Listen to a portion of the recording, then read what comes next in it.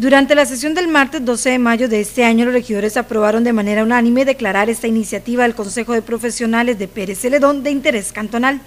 La decisión la tomaron los regidores tras la participación de uno de los integrantes de la agrupación, Fayán Vargas, quien dio una explicación del proyecto. También acordaron invitar a las otras cinco municipalidades de la zona sur que incentiven a la población a participar.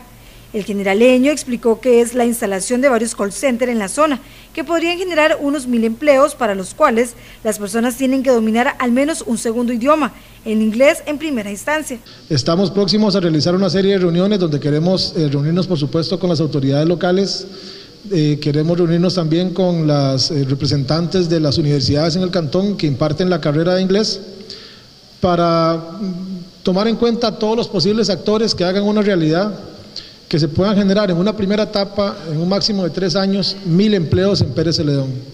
La idea sería arrancar en alrededor de un año, creando unos 200 a 300 puestos de trabajo.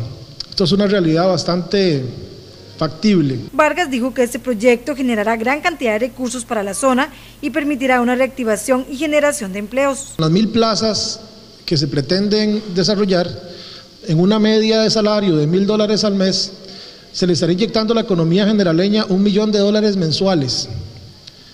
Esa platita va a ir a dar a todo lado, a restaurantes, a, lugares de hospedaje, a casas de alquiler, en fin, eso va a, a mojar muchas partes de la economía generaleña y creemos que es posible. Se está avanzando en ese sentido se han hecho muchos esfuerzos, hay muy buena disposición, no solo de las organizaciones del Estado, sino de la empresa privada. Al respecto, en este momento les indicamos que en el sitio web www.pz.una.ac.cr ya se habilitó el espacio para que las personas interesadas en inscribirse en él puedan hacerlo.